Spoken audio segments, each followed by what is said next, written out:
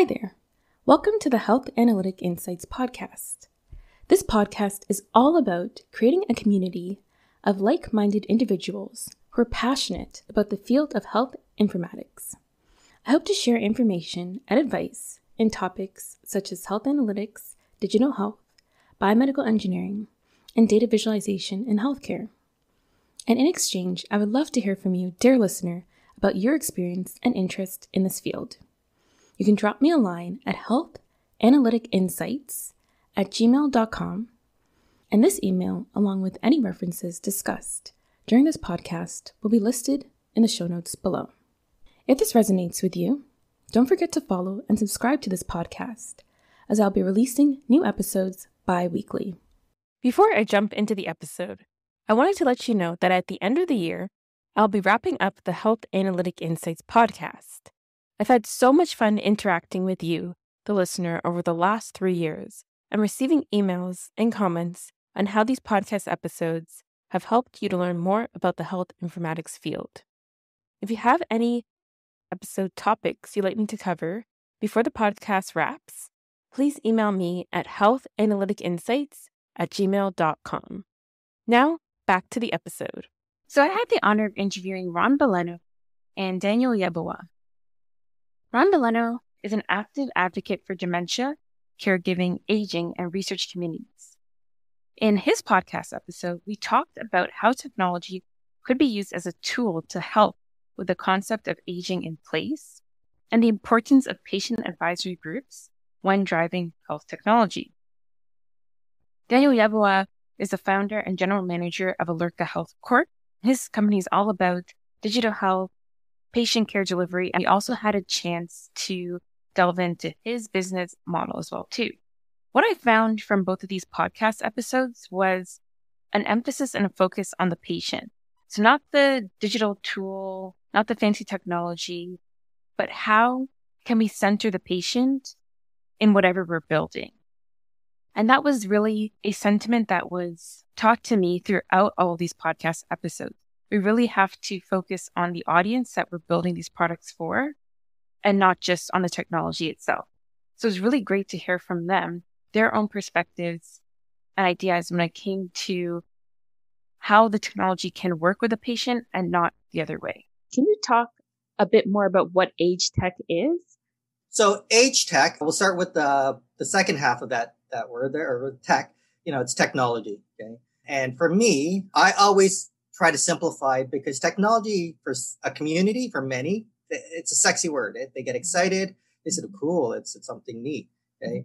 And then there are those that, you know, I've done presentations to many communities, especially caregivers and older adults and those living with dementia. And some of them, if it happens to be a talk on technology, technology that can help you in your life that when I'm presenting, some of them right away, they says, Oh, how do, I'm just here because, you know, my wife brought me here and I'm really not into tech you know, I'm not really mm-hmm. interested in this. And I said, oh, you don't have to be, right? I'm not here to tell people, you know, that you have to have technology.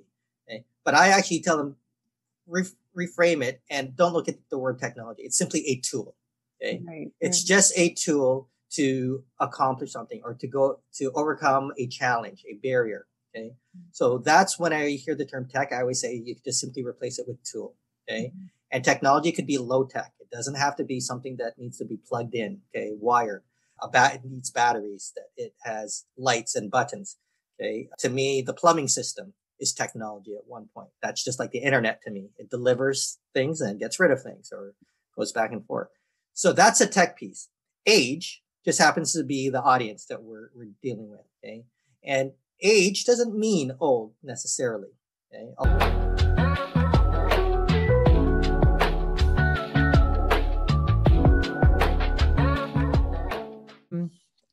Your work as a clinician. And I'm wondering, what are some of the biggest gaps that you've noticed um, across your career in healthcare? And how do you see technology really impacting this and making a difference? Um, you know, I think so. When, when, when, it, when it comes to what are, what are some of the biggest gaps, I think, you know, th- there's the cliche that healthcare is broken, right? Um, and so I'd, I'd come back to the healthcare system is not broken. Um, it's the delivery model that is broken and and mm-hmm. so we, we have to focus on actually providing care to individuals and not servicing you know what, what, what i call these episodic issues right? And so when we look at healthcare it's it, the, the the word is caring for someone's health. Um, and, and when you look at the existing healthcare model what we look at is you know i hurt myself i need this to be fixed. I've done X and this is what needs to be done, right? And so even our interactions that we have with our physicians are episodic in nature um, and not continuous. And so mm-hmm. recognizing that that's where the gap was is taking the experience that I had from a clinical perspective and recognizing that continuous care models is the actual route that we should be going, mm-hmm. where we form a relationship with an individual over a period of time. And that relationship over, a, over, over a period of time also acts as a preventative method right mm-hmm. when you when you look at chronic diseases a lot of the a lot of the issues around chronic disease management is really because the foundations of it are based on lifestyle um, lifestyle and behavior. And so when we have the the right inputs, the right resources, uh, the right supports in place to help us make the better or better lifestyle decisions mm-hmm. based on behavior, we actually achieve better healthy outcomes, right? And so as mm-hmm. we f- begin to focus on healthy outcomes, not fixing an issue that happened today, right? Not I have a cough so I need to go see the doctor. But what are some of the things that I'm doing in my life that brought on that cough? Right? Mm-hmm. Not now, recognizing that we people will get sick, and so we we're, we're not going to live in a world where we're absent of illness. But there's definitely things that we can and should be doing that we are not doing that contribute to us us having un, un, unhealthy outcomes. And so, you know, for for me, it was what can what can be done differently? How do you deliver care differently to actually provide positive healthy outcomes to the individuals that we serve? So switching gears a bit. I graduated from university and i found it quite difficult to get that first entry level job. It was very much a chicken and egg situation and maybe you're going through this right now or maybe you've gone through it in the past. You see job postings that require experience that are entry level and so you need experience to get the job, but the job requires experience. And it can really leave you feeling quite defeated and depleted. And then you go on LinkedIn and you see people who have progressed so far in their career, and you really are at a loss to understand how individuals can get from A to B. You see people who are in CEOs and director levels, and you really want to understand their path.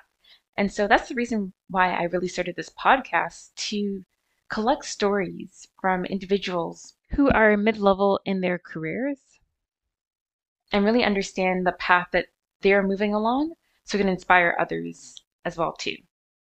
So I want to share some clips from Jennifer Lewis, who works as a senior nurse manager in nursing informatics. Jennifer has a YouTube channel called The Informatics Life, which hosts a wealth of information specifically on nursing informatics as well as health informatics directly from her years of experience. And on this episode, we talked about how to break into the field and what technical and soft skills would be best suited for a role in nursing informatics. I'm also going to share a clip from Patrick Hawley, who is an experienced health information technology professional with a background in data analytics. He also has his own organization, Health IT Academy, where he provides top notch accredited online health IT courses to help individuals pursue a successful career in health informatics. And in this podcast episode, we talked about his career progression in health informatics from his first internship to his current position where he worked, primarily with EHR systems. And Patrick provides some really great tips for individuals looking to break into the field. So, Jennifer, can you just tell the listeners a bit about yourself? Sure. I have been in the nursing field for over going on 16 years now. And I I embarked on this journey about 8 years on 8 years ago getting into nursing informatics. So I was a bedside nurse for about 9 years at a particular hospital and And I I actually never heard of the field. I never even heard of anything. Mm-hmm. But I was just a tech person on the floor. Like mm-hmm. anytime someone needed extra help on documentation or they needed the VCR fix. Yes, I'm dating myself. They had we had VCRs back in the days, and they were like, "Hey, Jen, you'll help out," or any other type of tech technical thing. I was the go-to person. So I do have a love for technology, of course. That's why I'm in the field. So uh, I transitioned, like I said, about eight years ago into nursing informatics. I was like totally didn't know anything about it, but I it, one thing about informatics, they do teach you a lot because everyone has different systems.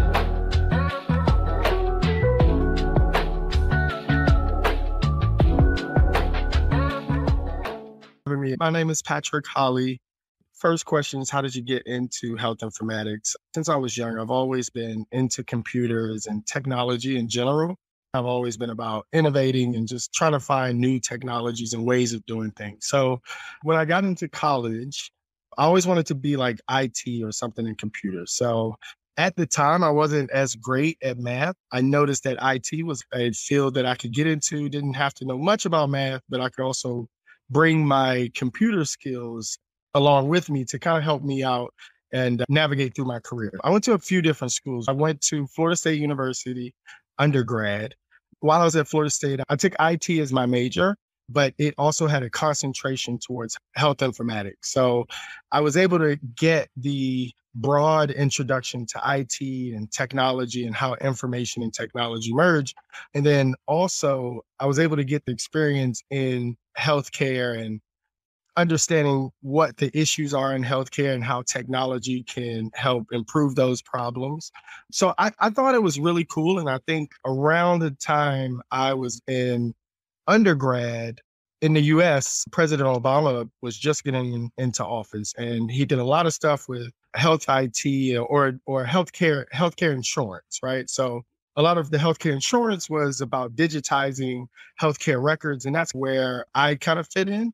So I saw this big push towards health IT and just digitizing healthcare and I thought, wow, this would be something real cool and while I was picking my major, I noticed that it did have this health informatics. I think I went home and studied it a little bit and I was like, I'm going to take this. And mm-hmm. it's funny because I always tell people one of the reasons that I really got into it was because health informatics had one of the smallest course loads. So when I say course loads, when it came to like the main courses within health IT, I think there was only two courses that were dedicated towards health IT.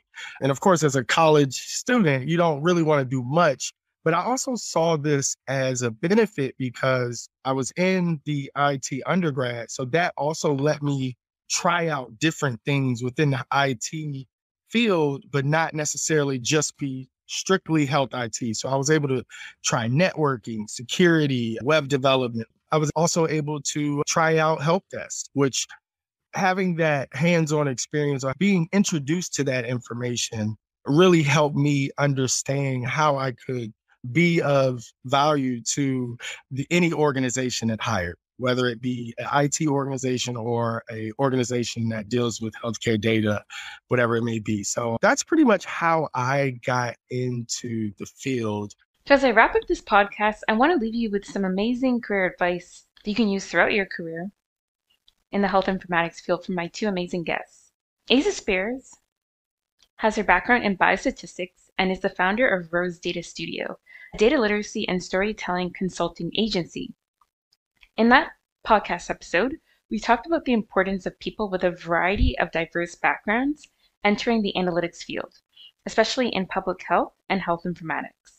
Asia also provided some amazing career advice for those who are interested in breaking into the field. We also got to hear from Anastasia Pargulski, who emailed me about her challenges of breaking into the health informatics field. In this podcast episode, she recalls her journey of struggling to break into the field to obtaining her first role in health informatics. That episode was jam packed with helpful advice that you want to hear if you're looking to get to your first role in health informatics and progressing your career in the future as well. Is is something that I'm really excited about, especially because yeah, this big data universe just keeps expanding. And so I've been around it for about 10 years at this point. But mm-hmm. if you're just getting into it, I can imagine how it might feel. Mm, um, Very overwhelming. Yeah. like they're telling you learn R, learn Python, learn SAS, learn Tableau. Mm-hmm. It's like I have mm-hmm. other things to do in my life. I can't Absolutely. just be learning all these tools. But it's as you're saying, like just try and understand the first step, just like the the language, kind of the data speak. Like and um, there's so many resources, I think, that can demystify things. But I think just don't get stuck almost with all this overwhelming messaging that, you know, kind of is pushed out. that you have to be perfect in everything. Absolutely. And mm-hmm. I just help people navigate that. And so I think too, now having the experience of going out and working, like having to upskill and learn SQL for my first job that I had after I, I started my leave of absence. And also realizing like they hired an experienced programmer to write like the first iteration of the dashboard data pool. They did not hire me to do that. Mm-hmm. like they knew the level of talent and experience that they needed. And when they're hiring for junior or senior versus lead versus they know generally kind of what they're looking for. I would say most teams know that. And so that's another thing I, I, would say that people can kind of understand what that learning curve could look like. They've hired other people onto the team prior to you, unless it's a brand new team, which at that point you might as, you know, you probably have the experience of building your own things from scratch at mm-hmm. that point. But if you're not at that, that point yet, if you're familiar, maybe you've taken a SAS class and then you added a few R modules to transition into that space and you're still kind of pulling all those pieces together. And I think there's enough roles out there for people at that level, as well as mm-hmm. people who have had deeper experience and more involved with different, you know, aspects of data anal- analysis and kind of pulling their own data versus not. I think there's so many kind of fun components where it's like you take away one thing or add another and you kind of get this picture of what's your profile. And then I'd say the last thing I'd say about that is too, once you put a whole data team together, it's, it kind of creates this beautiful mosaic. And I got to see that on mm. my team where we had one person who had programmed in SAS probably since I was born, which is kind wow. of ridiculous. I'm like, what? so, I mean, he knew so many things like the back of his hand and he had been in the healthcare space that entire time. So he knew mm-hmm. about like the different EMRs and all. It was incredible. We had someone else who was trained similarly to me with research methods, but then had gone on to in kind of an enterprise data environment a little longer than I had. So his SQL skills were even stronger. He understood the database connections even better. And he had been in a situation where the environment was just really slow and inefficient. So he was really good at writing efficient code. I was like, mm. wow, that's pretty incredible. Mm. I had the depth of statistical training. And then we had someone else who had a background in medical coding. And so she would ask questions that I was like, how did you even look at the, like that table and know to even ask this? Because she had been on the other side of the data input from, you know, collection mm. in the doctor's office. And mm-hmm. I mean, when you put a team like that together, I Unstoppable. a fantastic four. yeah, it was it was incredible. So cool. it mm-hmm. was wonderful. And so I would say it's again, it's it's beyond just the data skills. It's beyond mm-hmm. how quickly and without error your code kind of runs through. It's about how how do you all approach a problem and even expand the work that you're doing into new territory? How do you rely on each other? How do you check each other's code and have each other's back when it comes to those late nights right mm-hmm. before mm-hmm. all the reports are due. And I think we built really great camaraderie. And so I think the, the other kind of advice that I always try to offer and remind people is that you're going to be on a team, right? And so there's there's that aspect too of getting to know and figure out how you can partner with your own team members as well as those who you'll serve with reporting or dashboard or models, whatever your output or products look like.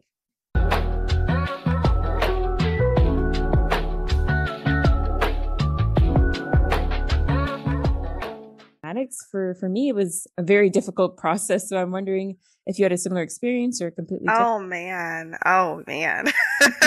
So like i said i worked in nonprofit healthcare administration type roles. So my specialty when I first started my career was healthcare quality improvement. So that was mm-hmm. helping hospitals uh, by and large improve their Medicare and Medicaid metrics that they're reporting out on or just any other performance metrics that ultimately resulted in them being penalized by through reimbursement or reduction in reimbursement, whether that's commercial or Medicare, Medicaid. So that was really my area of specialty for the last five years. And during that time, the company that I was with, they actually had a health informatics department that I had oh, tried so many times to get into and I just I couldn't get in. They said I didn't have enough experience. So in 2020, I put my foot down. I made the decision. I'm going to go back to school so that way they can't say I don't have enough experience. so I did that. And lo and behold, come July of 2021, through my what's two and a half semesters of school and training and access to resources, I was finally able to land my first contract opportunity with a post acute care software company. And that has gone very well for me. I started in July, it is now mm. November, mm-hmm. and I am now already transitioning into a full time role with that company. Oh, so my, my journey in getting there was, you know, one, having my own hunger. I was constantly researching the different trends and emerging topics in healthcare informatics, health information technologies such as FHIR, how mm-hmm. blockchain technology is imp- in, uh, implemented in healthcare, artificial intelligence, things like that. That's just my own personal studying that I've been doing over the years as I tried unsuccessfully to interview for a lot of these positions with my old company. And then once I got in school, not only did I learn obviously from my coursework, my school also offered courses through LinkedIn Learning. So mm-hmm. I took that opportunity there and it's free because LinkedIn Learning is for a premium fee. I think it's about $40 a month, but my school offers it for free. And mm-hmm. there I added on to that by studying agile and the software development lifestyle process, product management, as well as project management. So in my former role, I had tons of experience in structural organization, strategy, corporate, business, strategic, all kinds of stuff like that, but I didn't have that technical piece. So what my school afforded me, not only through the coursework, but also through the extra resources that it provided, was that experience that I was lacking. And I was able to combine my applied experience through my five years as a program manager with mm-hmm. some of my coursework learning to land this opportunity. So that's a wrap on the podcast. Not only have I had such an amazing time interacting with you, the audience, through emails, YouTube comments, and much more, I've had an amazing time interviewing these guests, and these are just a subset of the amazing people that I've had an opportunity to interview who I'm so grateful came on the podcast and shared their wisdom. If you want to get a hold of me, you can always reach me at healthanalyticinsights at gmail.com. And thank you from the bottom of my heart for listening to this podcast.